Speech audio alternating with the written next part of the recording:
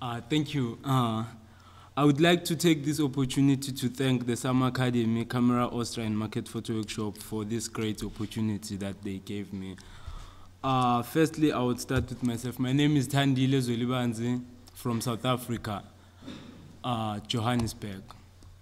Uh, I started uh, uh, learning photography in Market Photo Workshop in 2008. Uh, until now, I was still there. I'm sort of like currently a course assistant in Market Photo Workshop, and I also participated in a number of exhibitions. One of them was sort of like a series that was in German. It was in I sort of like forgot the name. Uh, it was uh, Hands Up. We did it with the GTZ company. So it was exhibited in GTZ uh, office. So also some of the exhibitions that I participated were in South Africa, um, around Johannesburg. So this uh, series that I'm going to show now, it's, it's called Hands. So I decided to concentrate on hands as hands, sometimes they build, uh, they make comfort, uh, they provide a uh, lot of things, they sort of like uh, make our lives go on, sort of like they also, on, on the other hand, they can also destroy, they can also make havoc in different ways. So that's why I, I chose to photograph uh, these kind of projects. So then I think uh, the questions will come after. I'll just now play a slideshow. Then if anyone has any question, then we'll take them.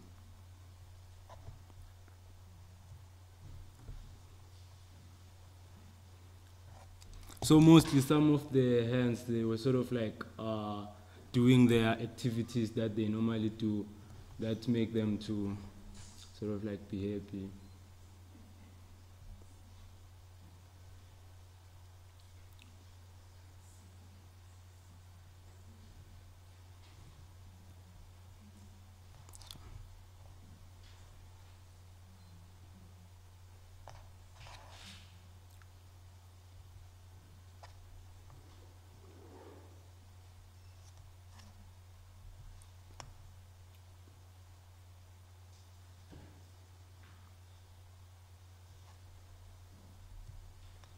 So also this work, it was done in Johannesburg.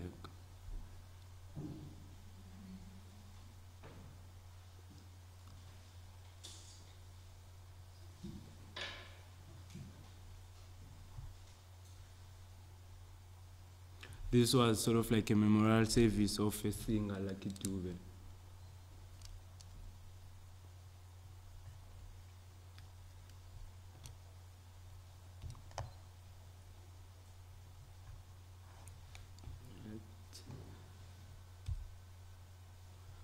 You sort of like maybe have any questions about the work?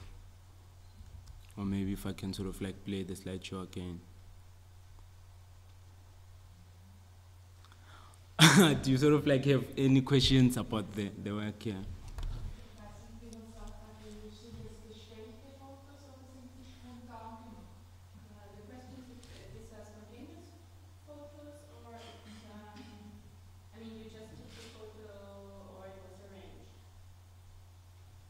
Can you repeat the question?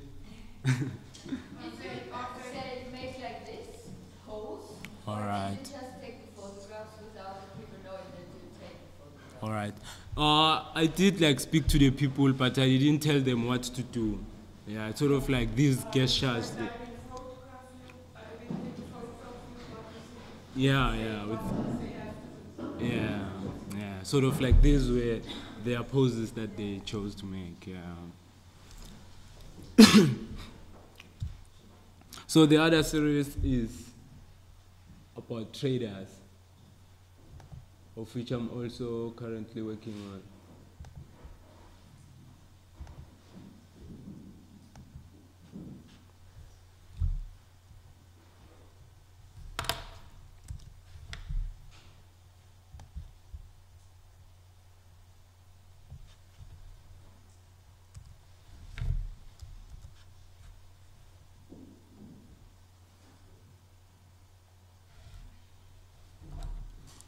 So this body of work, I, I also did it in Johannesburg. Mostly, like I work uh, around my environment where I stay.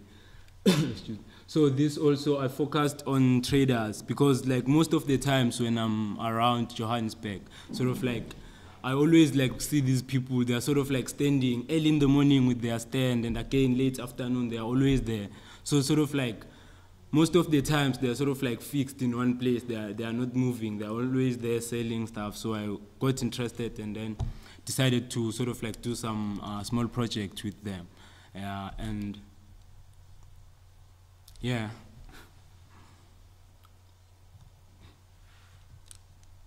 So also most of them, like what they sell, it's sort of like they sell sweets, uh, cigarette. They don't sell sort of like lots of things and stuff. And that also made me to be interested. That how could they make a living with those sort of like small things? But eventually, when I made some talks with them, so uh, speaking and uh, having some interviews, you find that they were sort of like making a living with this. Sometimes you find that they make enough money for them to sort of like survive. and some of them too they were sort of like coming from different african countries so to south africa so when they get to south africa they don't find much jobs so they end up selling on the street of which it's it's better than nothing yeah.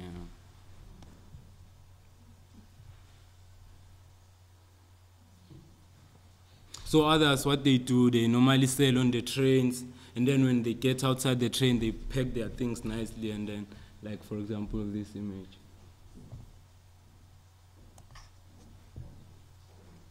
So I also used movement to sort of like to emphasize my point that these people are sort of like fixed while everything around them is moving. Yeah.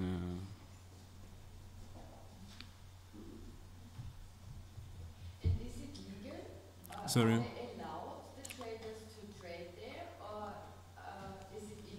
Yeah, oh, these are they are they are illegal. Yeah, they are not allowed. Yeah, thanks for that. Yeah.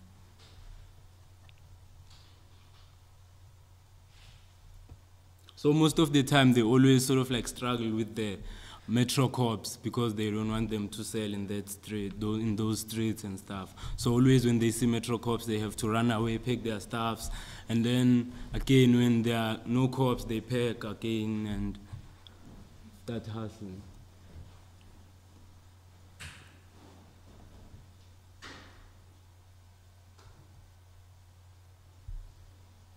mostly, most of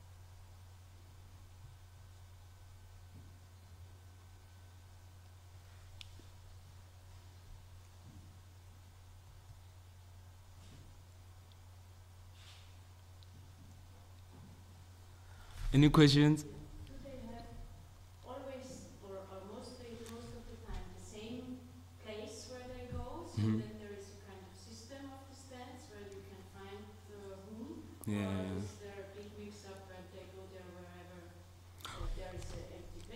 All right. Yeah, in most cases, there's sort of like uh, a, a problem with the space because uh, they don't sort of like, the, there are many sort of traders in the city and now the space becomes a problem.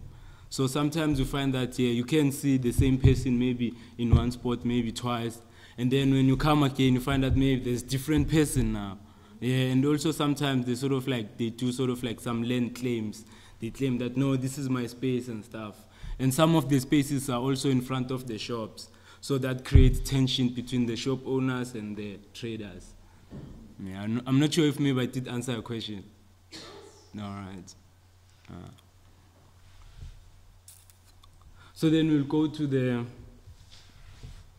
other one, the one that I also did in the township. I called it uh, Township Bodybuilders.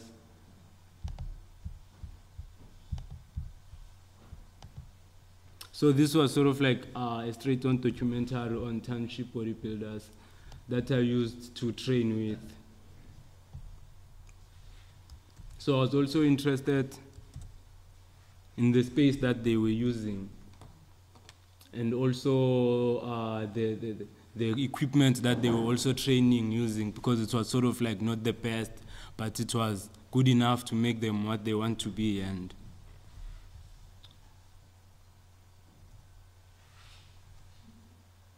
So I decided to use black and white in this one because I feel sometimes I feel like black and white it's sort of like more real. It's my own personal point of view.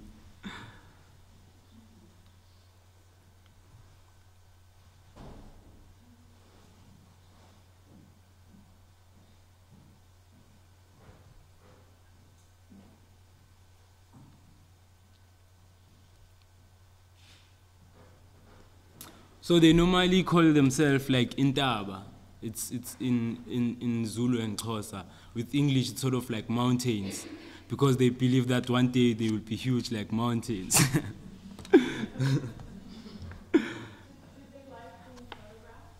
yeah, like they're sort of like these ones are my friend. I was sort of like training with them before. So they are very, very uh, familiar with me. Yeah. Yeah, it's sort of like the the, the, the, the, the, the, gym rules in the background. Say no pain, no gain on top. then the other one sort of like respect. So it sort of like goes hand in hand with what he is doing, sort of like he's bowing. yeah. Here he was like done with the press ups, he was doing the press up and then he was getting up.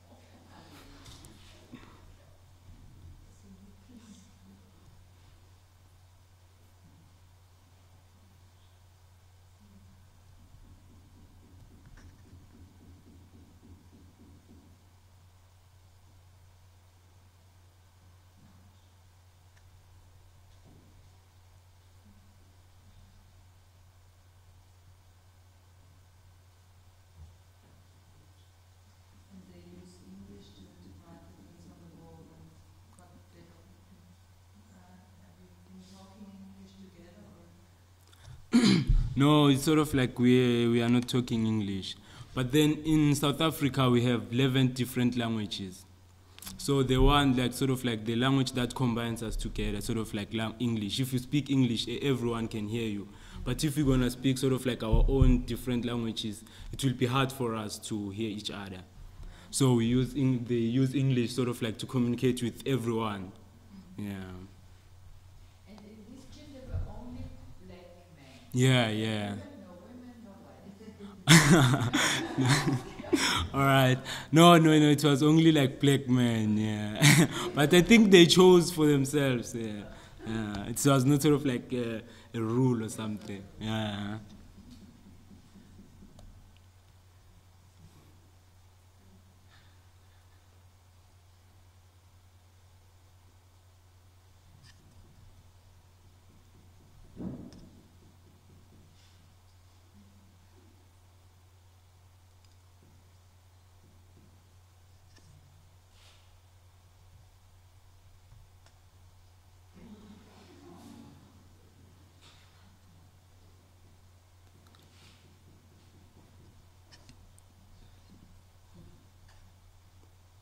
So this one uh, was sort of like uh, exploring their personal space, also trying to mix uh, the relation between their personal space and uh, sort of like what they do and stuff. So I wanted to also capture that kind of a lifestyle, but still, I think I still have to work on in this sort of like kind of a thing. I don't, I didn't want to sort of like only focus on the gym and then.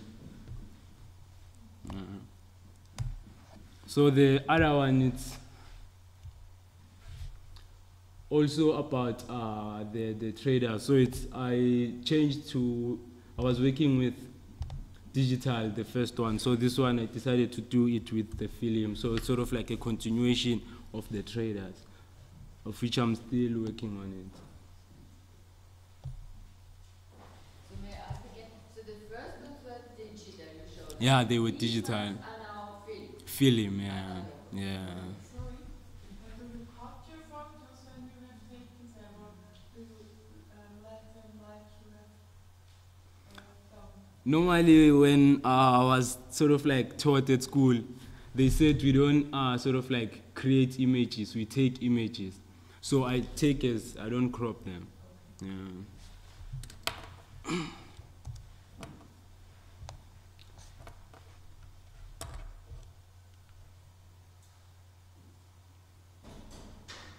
And what would you say is the difference for you between uh, um, uh, digital and analog photography? Uh, uh, specifically with this work, it's point number one, it's color. The color it's completely different. So with digital, it was a bit sort of like yellow, warm, and this sort of like a bit natural.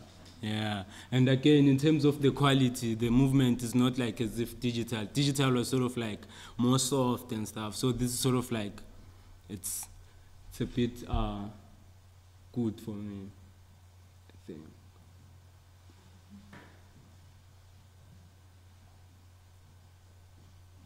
And the traders, was it hard to get them to work with you? Yeah, in, in, in a way, it was very, very hard because they, it's, it's hard for them to accept like an outsider because I was sort of like an outsider from them. I was not also a part of them, I was not a trader. So it was a bit hard for them to accept me. I had to go there several times without a camera, speaking to them, talking to them until they, they, they, they were loose. And then, yeah. We find that maybe to sort of like get one image, it could take me a week. I have to go there, negotiate. When I take out the camera, maybe it's not what I want. Maybe the, the people are too posing for me. Then I have to come again until, yeah, until I got what I think I wanted. Yeah. But in a way, it was also challenging because these photographs, I took them at night. You see, and then at night, anything might happen, more especially in Johannesburg. But if I told myself that if they also like are selling and doing their activities at night and no one sort of like is the security or something that is, is sort of like watching over them, why not? I can't take my own camera and take the same risk that they are doing.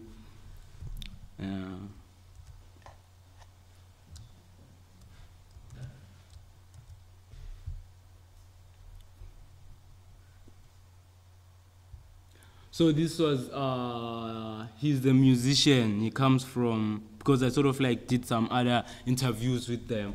He comes from uh, Tanzania. He said he's been to five different countries. So what he's doing now is sort of like he's trying to gather the money to carry on to to buy some other things that he need and sort of like to combine uh, the money and do sort of like some uh, videos and some discs so that he can be sort of like strong in the music industry because for now there's no one who's supporting him. So he has to do sort of like he has to learn the hard way. He has to combine all the things for himself. And then hopefully that one day he will become a musician. And this one also is coming from tanzania.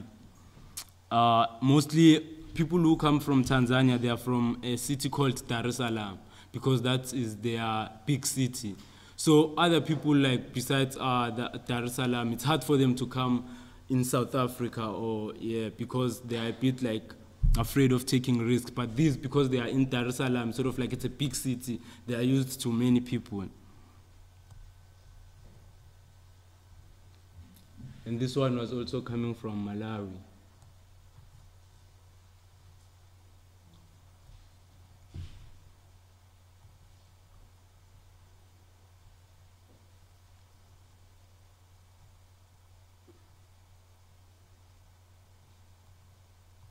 So also what made me to be much, much interested in working with them was that these people, they have sort of like a nice background and like good, good stories. So sometimes you might see them like selling on the street and think that, no, these guys sort of like they don't have nothing to do and stuff.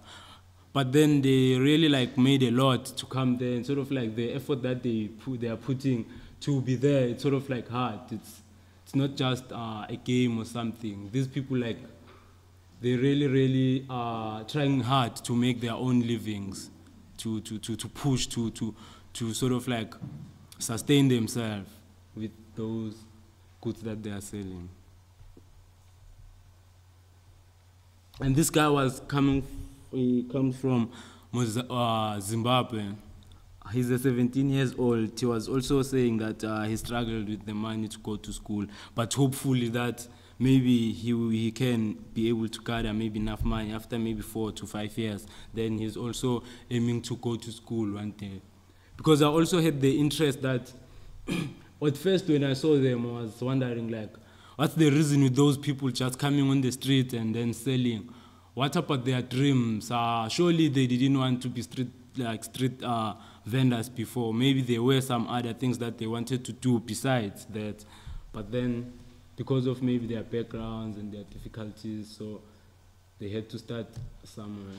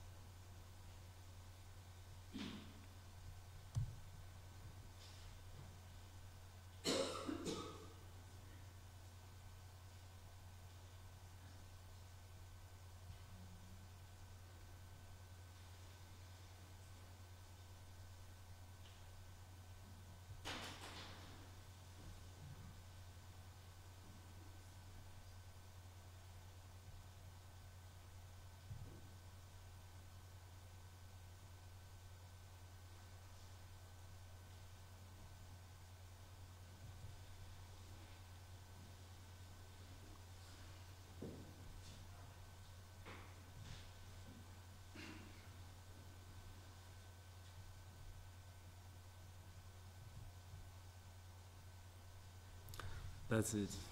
Thank you. yeah. Sorry? No, uh, it's sort of like my own point of view. I decided not to include the customers because my story is about them. I'm talking about them and about uh, what they are doing. So I decided not to include the customers. Maybe that's another thing. Maybe I can consider maybe when time goes on. Yeah.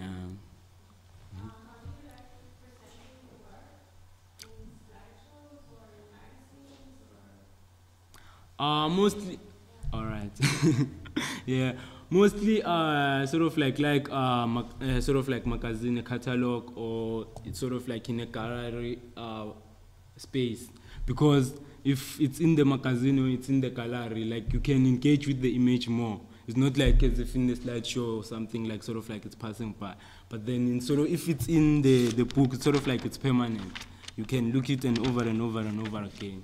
So I prefer sort of like uh, hard copies. Uh?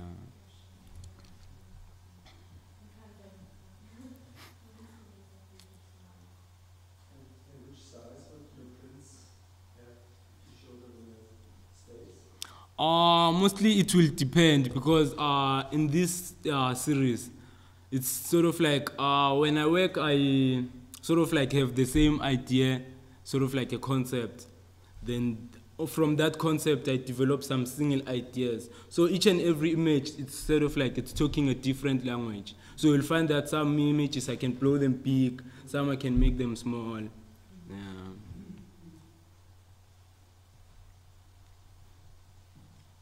And do you have any ideas what you uh, want to focus on the summer academy? Already? Yeah, on Summer Academy, I was sort of like thinking about it, and yesterday I tried to sort of like uh, write some ideas down. But for now, uh, I don't want to limit myself and say I will specifically focus on this. I sort of like I'm photographing like uh, the Summer Academy as a whole, and what I sort of like on my own point of, my own point of view, I see is like it's interesting and sort of like useful for for for for for, for the Summer Academy, and what uh, sort of like it's beneficial to to the students and also to the trainers because at the same time both of them they learn. The students learn some things to the trainers and also the trainers learn some things to the students. So it's sort of like that inter- interaction and engagement. Yeah sort of like um, i'm interested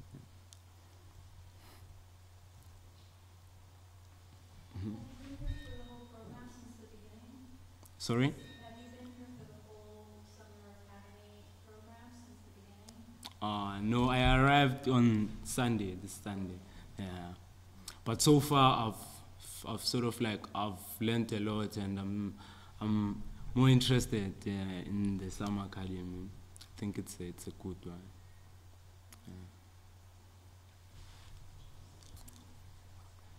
Other questions?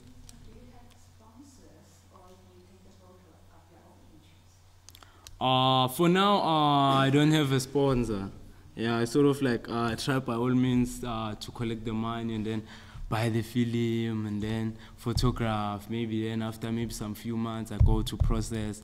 But in a way, I think you have to start somewhere. It, you can't just like in the beginning of uh, a, a project and then you ask you you expect someone to sort of like give you something or to sponsor. You have also to do your sort of like to to to, to do yourself some some input. You have also to sort of like sacrifice some other things if you really you really love a certain thing. You sort of like have to push yourself. Then if you get someone or they can sort of like meet you halfway and then take you somewhere. Uh, when did you start uh, loving photography and everything? And um, do you always focus pressure? And then do you always focus on people in society and um, and what's what's going on in a certain environment, or do you also focus on other things?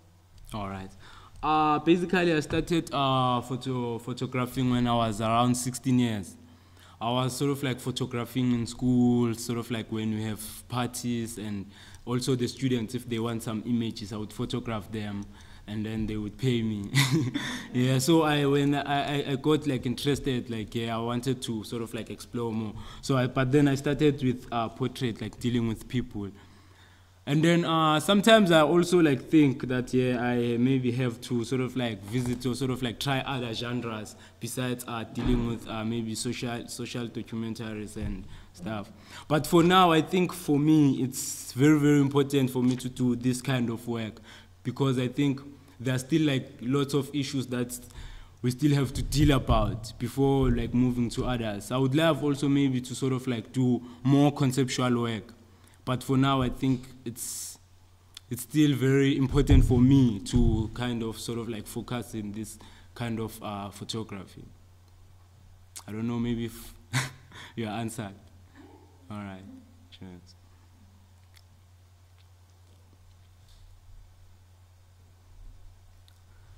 Uh, thank you all. Thank you for coming and.